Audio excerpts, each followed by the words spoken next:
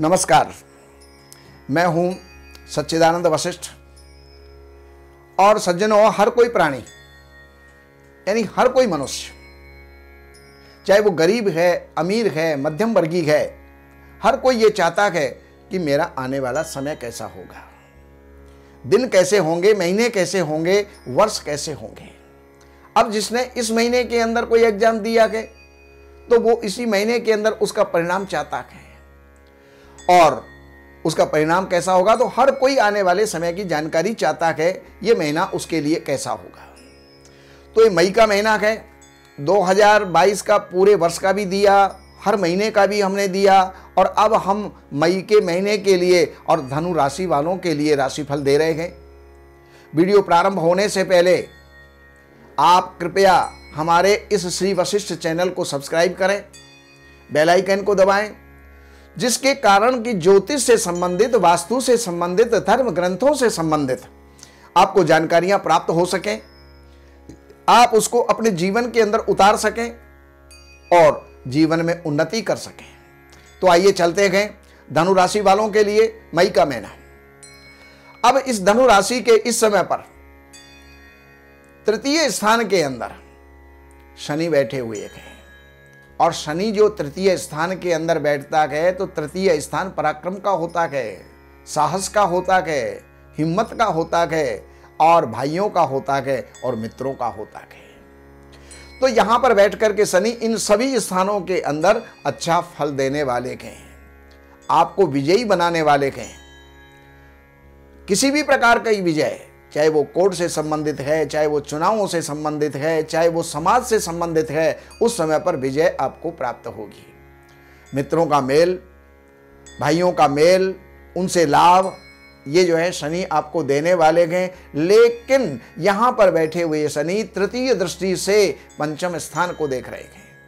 पंचम स्थान में नीच दृष्टि इनकी जा रही है और पंचम स्थान संतान का होता है।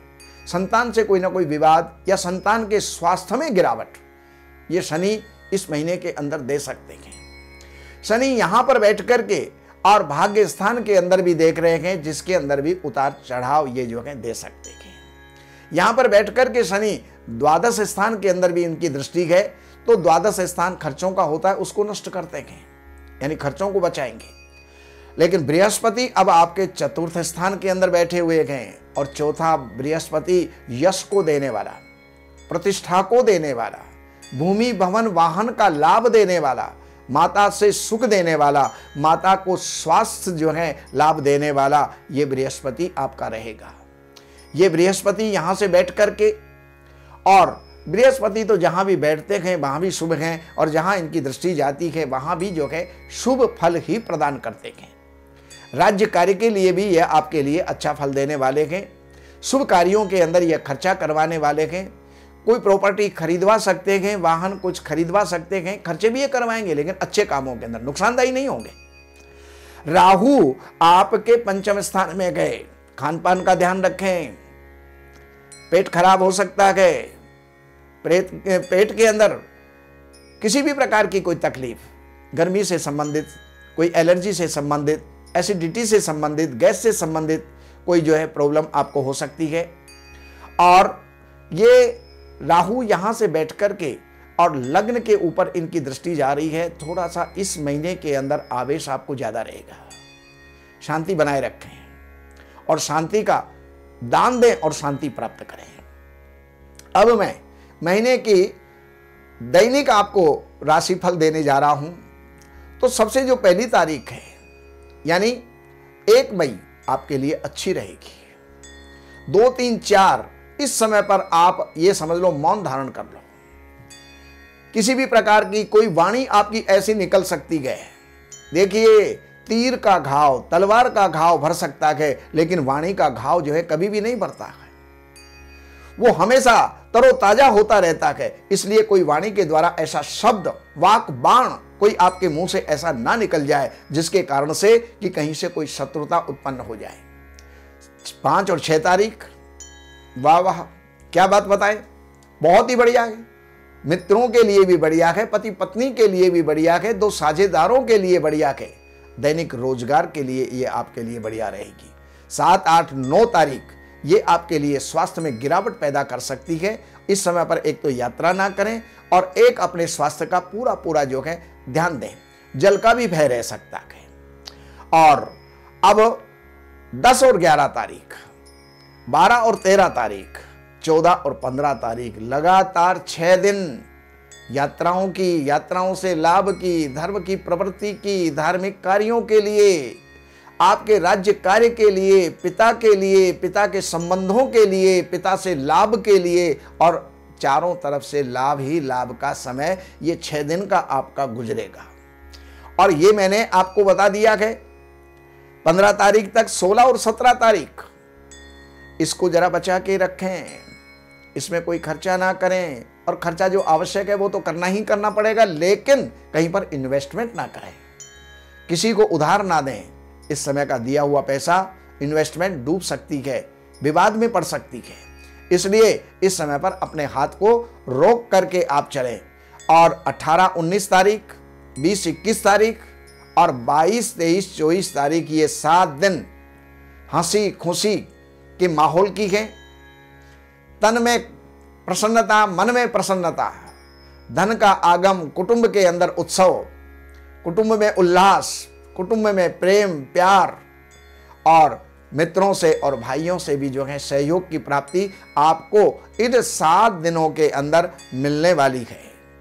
और इन सात दिनों के पश्चात अब मैं और आगे अगर चलूँ तो यहाँ पर 25 और 26 तारीख। ये 25-26 तारीख थोड़ी सी उद्विग्नता की है, लेकिन इसमें कोई ऐसा कार्य तो ज़रूर होगा। जैसे कोई रजिस्ट्री हो जाए, जैसे कोई खरीदारी हो जाए लेकिन फिर भी मन थोड़ा सा जो है भयान्वित रहेगा, भय से युक्त रहेगा। अकारण भय के जो है, मन के अंदर आशंकाएँ होंगी तो उससे थोड़ा सा उद्विग्नता को अपने कंट्रोल में रखें, बस में रखें। 27 और 28 तारीख, ये भी आपके लिए बढ़िया है, विद्यार्थियों के लिए बढ़िया है।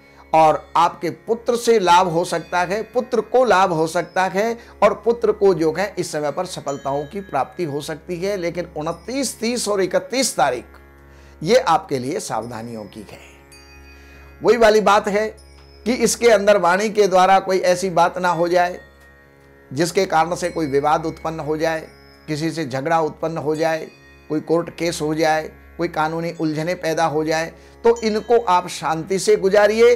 तो उसके अलावा आपका पूरा महीना शांतिपूर्ण और लाभपूर्ण रहेगा।